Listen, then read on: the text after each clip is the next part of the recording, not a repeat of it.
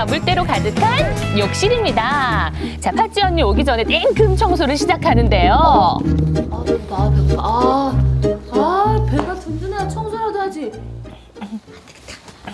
배가 고픈데 뭐 청소가 눈에 들어오겠어요. 만사 제쳐두고 일단 치킨 한 마리 시켜 굶주린 배부터 채웠는데요. 어, 치느님은 언제나 옳은 법 하나도 남김없이 말끔히 해치웠습니다.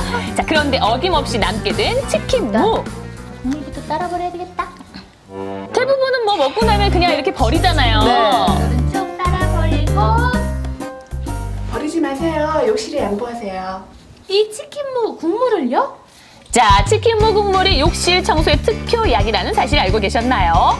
국물만 따로 분무기에 담아서 욕실 거울에 물때가 있는 곳에 뿌린 뒤 닦아내기만 하면 반짝반짝 깨끗해지죠?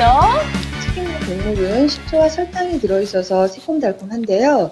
식초 속의 산성 성분은 여러 가지 오염물을 잘 녹여낼 수가 있고 설탕 속의 당분의 끈적이는 성질은 많은 이물질들을 잘 흡착할 수 있어서 청소에 도움이 될 수 있습니다. 그런데 사실 욕실에서 문제는 저기 곰팡이 때거든요 보이시나요? 구석구석 곰팡이들. 어머 뭐야 이게 다쓴 치약이잖아요 다쓴 치약으로 곰팡이 띠를 제가 없애드릴게요.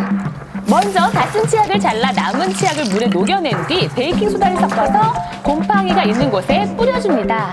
곰팡이가 안 없어지는데요? 고민에 빠진 그때 김문희 주부가 던져준 빨간 망은 양파망 버리지 마시고 그걸로 청소하세요. 반신반의하며 시키는 대로 열심히 문질러 봤는데요. 집에 굴러다니는 이 처치 곤란 양파망을 수세미 대신 활용하면 청소도 되고 쓰레기도 줄이고 일석이조. 이 양파망도 함부로 버리면 안 되겠네